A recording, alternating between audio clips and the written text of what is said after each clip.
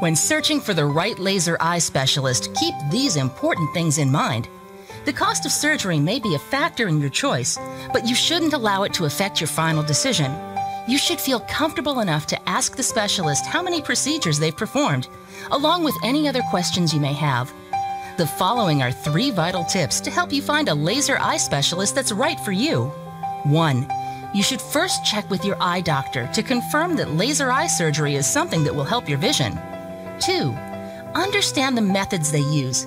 Different laser eye surgeons may use specific equipment that will have an effect on the outcome of your procedure. 3. Always ask if they have online testimonials or positive reviews they could direct you to. There's more you should know about choosing the right laser eye specialist. The information we provide could save you time and money. Just visit our website or call us today.